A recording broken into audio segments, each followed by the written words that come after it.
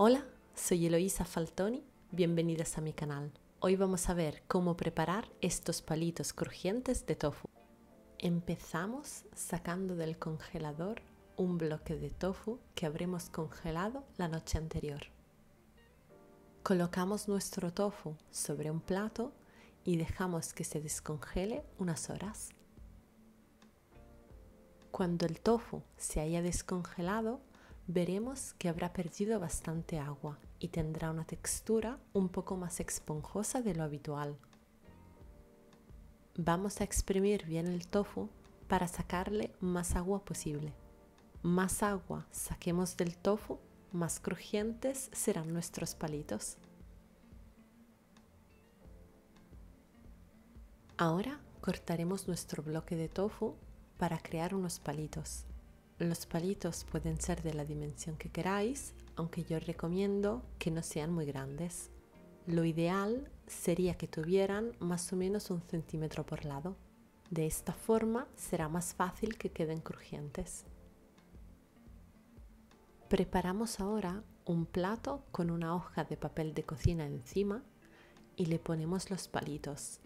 Espolvoreamos con un poco de sal y cubrimos con las manos hacemos una ligera presión sobre los palitos para que suelten más agua. Ahora preparamos los condimentos. Yo he hecho uno con ajo en polvo y un pimiento picante originario de Chile y otro con cúrcuma, jengibre y un poco de curry, pero puedes elegir las especias que te gusten más. Disponemos los palitos sobre una bandeja de horno forrada con papel de horno. He dividido mis palitos en tres grupos para poder alinear cada grupo con sabores diferentes. El primer grupo lo he alineado con tomillo y pimienta y los otros dos con los condimentos que hemos preparado previamente. Es importante esparcir bien los condimentos por toda la superficie de los palitos. De esta forma quedarán mucho más sabrosos. Recuerda que estas combinaciones de especias son solo una sugerencia y que puedes utilizar las especias que más te gusten para condimentar tus palitos. Ahora horneamos nuestros palitos en el horno precalentado a 180 grados. Tras unos 10 o 15 minutos los sacamos para darle la vuelta a cada uno de los palitos. Volvemos a hornear los palitos durante unos 10 o 15 minutos más.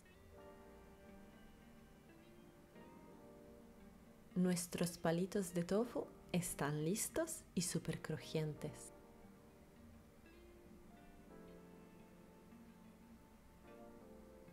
Déjalos enfriar por completo y después sírvelos como un aperitivo original o como un snack súper saludable y proteico.